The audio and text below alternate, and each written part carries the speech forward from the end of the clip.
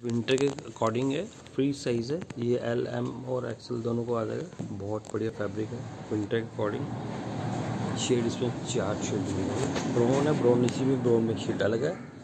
और एक, दो कलर हो रहा है इसमें मैं दिखा दूँगा। फैब्रिक बहुत गर्म है। विंटर के अकॉर्डिंग भी है और पार्टी वेयर भी है। गर्म फैब्रिक में लुक्स बहुत अच्छी है। ये कुछ सॉफ्ट फैब्रिक है नया फैब्रिक आया अभी कुछ सॉफ्ट वेलवेट टाइप